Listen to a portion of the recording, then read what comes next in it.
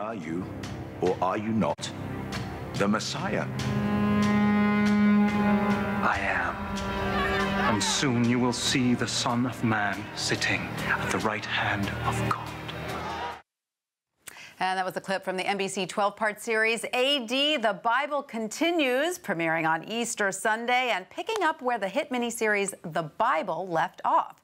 And here to discuss the production is Jesus, or rather, the actor that plays Jesus, Juan Pablo di Pace. Juan Pablo, thank you so much for being with us today. Thank you for having me, Tanya. What an epic production. Tell us what it was like working on that. Shot in Morocco. Correct? Yes, shot in Morocco uh, entirely, and it was uh, an incredible experience from beginning to end. How, as an actor, do you approach playing a character as legendary and mythical as Jesus Christ?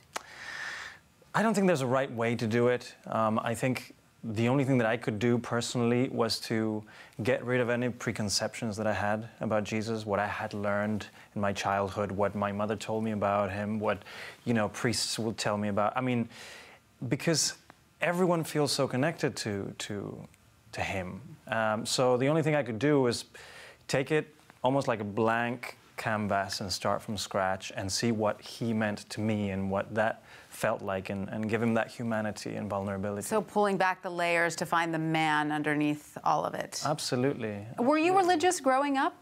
Yeah, I mean, I, I, I grew up in a religious family, um, Latin American, half Italian. Yeah, I got it. I, I, being half Cuban, I know all about it. Your mom must have been thrilled that you were playing Jesus. I know she was. She yeah. is. She, is. is. Everyone is saved now. Yeah. But um, so tell us a bit about the journey that Jesus goes through in this series, because we pick up at what point in the story? We pick up at the crucifixion. Okay. Literally, the first 25 minutes are, you know, Caiaphas and, and Pilate's trial to Jesus, and then the cross straight away. Right. So we pick up uh, at the crucifixion, the end of his life, and then we continue after the resurrection into the story of the disciples and how the disciples, who were this tiny group of people, um, you know, built the church and built this religion that now we, you know, Christ- Christianity. Right. So that's the series. The series is, is their journey and the persecution and, and, and you know, the hardships of, of trying to make this happen. And is it portrayed very realistically? Are we sort of taken back to that period?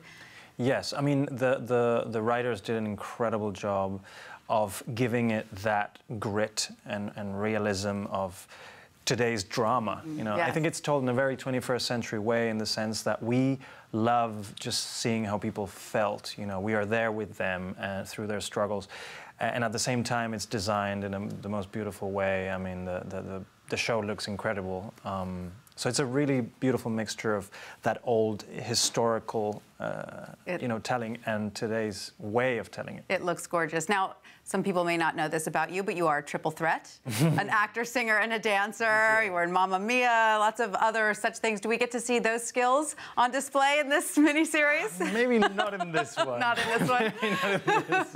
Do you enjoy musicals as much as straight acting? You like it all, one more than the other? I, you know what? I love I love everything. It's all part of the same for me. Right.